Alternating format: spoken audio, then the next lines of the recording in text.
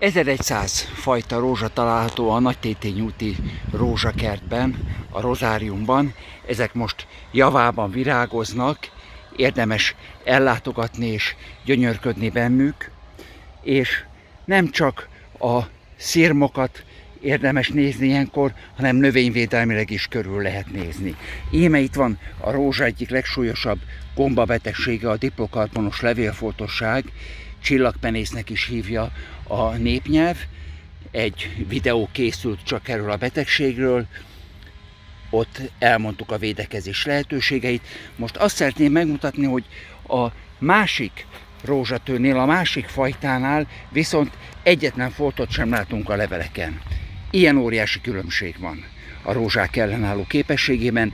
Ez tehát ellenálló rezisztens, vagy lehet, hogy csak most ebben a fázisban tűri, tolerálja ezt a betegséget, ennek a gombának a támadását. Ha gyümölcsfát választanak telepítésre, vagy zöldségvetőmagot vásárolnak, akkor is mindenképpen nézzék meg annak a betegség ellenálló tulajdonságait. Ahogy csökkennek a növényvédőszerek, a lehetőségeink úgy csökkennek a növények gyógyítására is. Tehát mindenképpen érdemes nagy gondot fordítani arra, hogy melyik növény, melyik telepítendő növény milyen ellenálló képességgel rendelkezik.